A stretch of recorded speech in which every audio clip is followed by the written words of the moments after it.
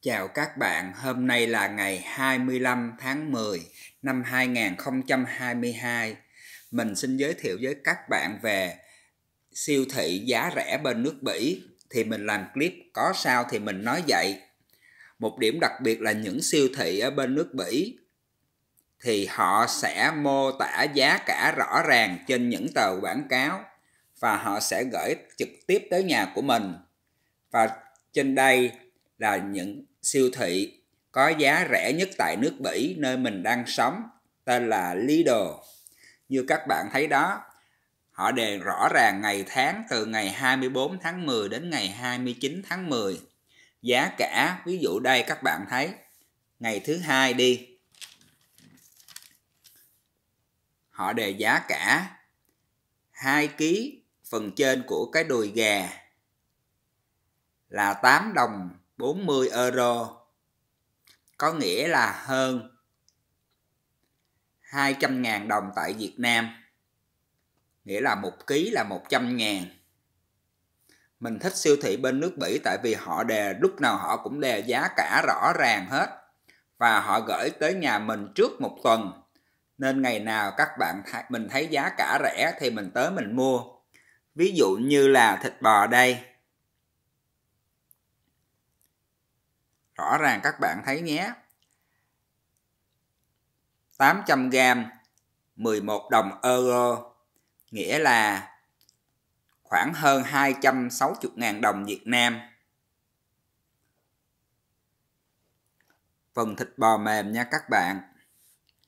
Hay là cá hồi.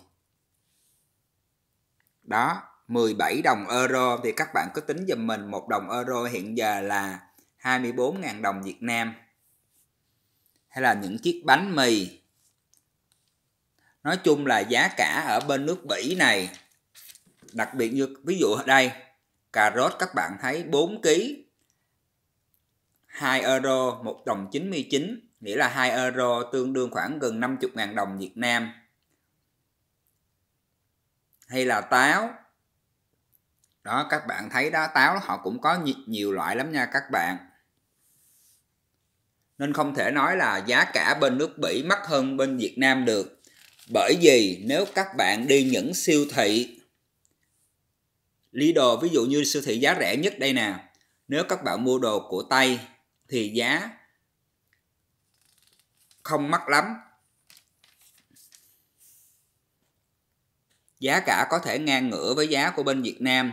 Ví dụ đây chuẩn bị mùa Noel sắp tới thì người ta có thể trang trí nhà bằng những cây thông.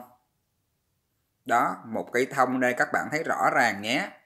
Ba cây, giá gần 3 đồng euro.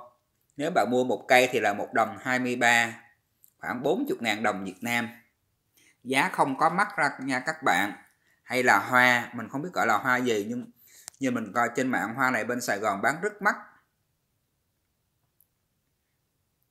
Họ bán 4 chậu hoa như vậy tương đương với 7 đồng euro.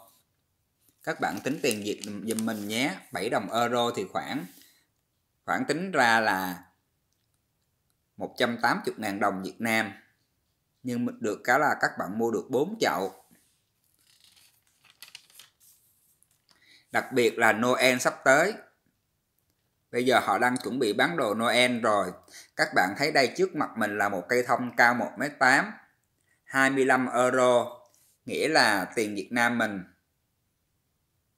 hơn 600.000 đồng Việt Nam. Không mắc phải không các bạn? 1m8 nha các bạn. Nói chung là đồ mình cảm nghĩ là mặc dầu cuộc chiến tranh ở bên Ukraine và Nga vẫn còn đang tiếp diễn. Nhưng nếu tại bên đây có những cái siêu thị giá rẻ, thì các bạn mình sống được, mình may mắn sống ở gần siêu thị giá rẻ và những cái siêu thị giá rẻ này họ cũng có mặt hầu hết hoàn toàn bên nước Bỉ này cũng như hoàn toàn bên nước những nước châu Âu khác. Ví dụ như Bỉ, Hà Lan, Áo, Đức. Thì tính ra nếu mua đồ thức ăn phổ biến như gà, thịt heo, thịt bò của những siêu thị giá rẻ này giá có thể tương đương với giá bên Việt Nam bên đây, những giá cả mắc, ví dụ như những hàng phải nhập cảnh từ bên những nước châu Á qua Việt Nam thì giá cả rất là mắc.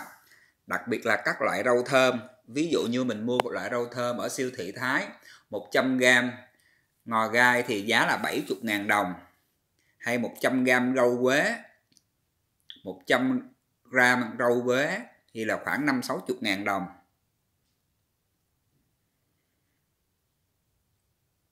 Nếu mua hàng hóa, thức ăn của sản xuất bên châu Âu làm bên châu Âu thì giá sẽ rẻ nha các bạn. Thực sự là không mắc lắm.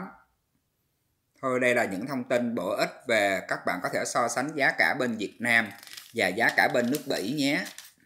Chúc các bạn một buổi tối vui vẻ.